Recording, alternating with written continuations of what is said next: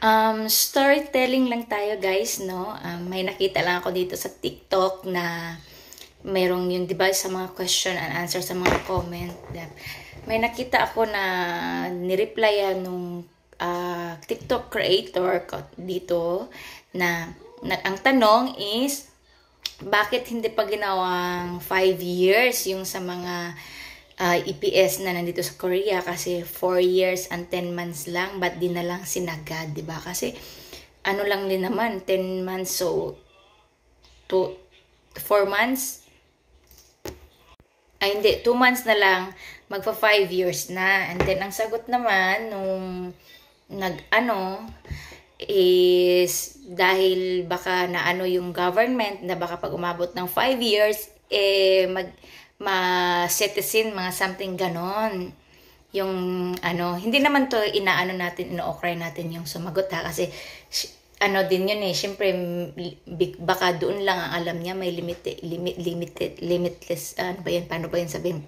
Limited lang yung alam niya, 'di ba So, i-correct lang natin guys na kahit 100, 100 years ka na dito sa Korea, pag hindi mo na ipasa yung exam o di kaya yung interview, exam pag nag-aaral ka, direct naman interview naman pag nag-direct apply ka ng citizen, pag hindi mo na ipasa, kahit 100 years ka na dito sa Korea, hindi ka talaga magiging citizen.